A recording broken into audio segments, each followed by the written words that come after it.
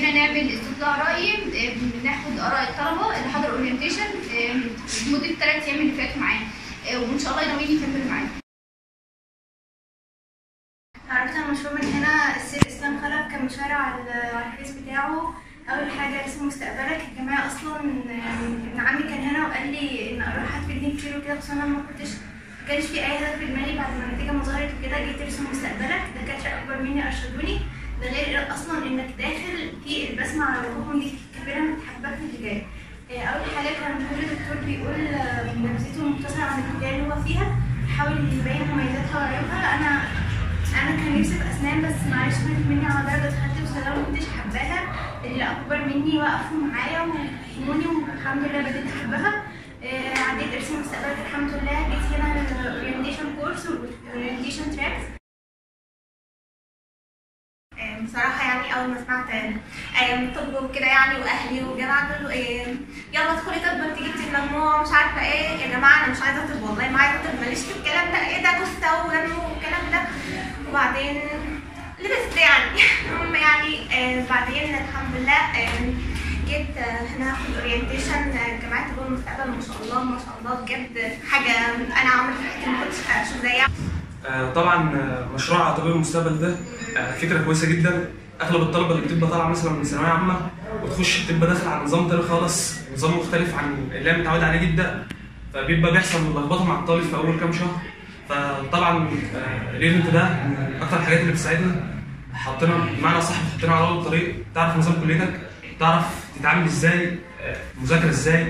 إن كان في ال orientation العادي أو ال orientation tracks اولا زي ما أنتوا حاطين شعار حطوكوا على أول الطريق. فانا حطيتونا على أول الطريق. آه، عرفتونا إزاي هنتعامل بعد كده وحببتونا أكتر في الكليه اللي إحنا ندخلها. وعرفتونا البدايات اللي هتسهل علينا أول شهرين ثلاثة اللي بيكون فيهم كل الطلبة من أول الكلية.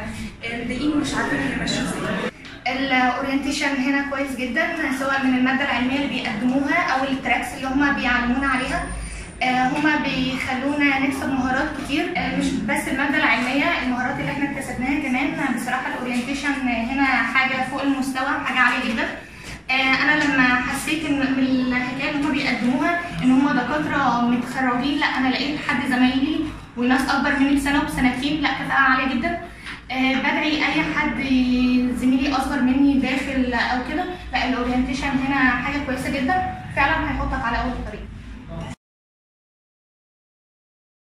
والله أنا كنت متوقع يعني مش هلاقي الإمكانيات دي كلها بس الحمد لله جيت لقيت إمكانيات والحياة الدكاتره هنا على بيتعاملونا بأحسن معاملات وأحسن حياة بنلاقيها هنا في بصراحة يعني ما كنتش متوقعة إنه يكون كويس كده يعني بصراحة لما جيت أنا بقيت احب أجي هنا بس أنا اليوم بصراحة اللي باجي هنا بحس إن لو لا في تفاعل وفي كمان بيسلق اجازتي قوي أنا بتهيألي في البيت ما بعملش أي حاجة.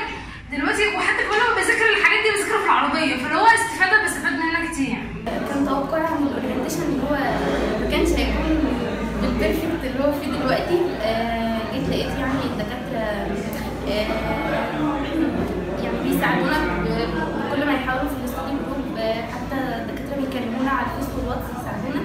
آه، الجمعية بصراحة أتمنى إن أنتوا يعني تكملوا لأن بجد إحنا بنستفاد ما كناش نعرف أي حاجة عن الكليات.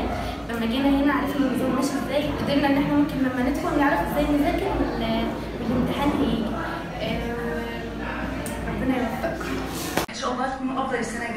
و- وتحققوا أكتر من أنتوا تتمنوه ودايما طالما أنتوا بتساعدونا إن شاء الله. ربنا يوفقكم للأحسن. ربنا يوفقكم. الامام دايما وان شاء الله ربنا يوقفكم مثلا يعني الناس اللي تساعدكم دايما وتقفوا يعني أنا شرفني إن أنا أكون معاكم. بس شكرا.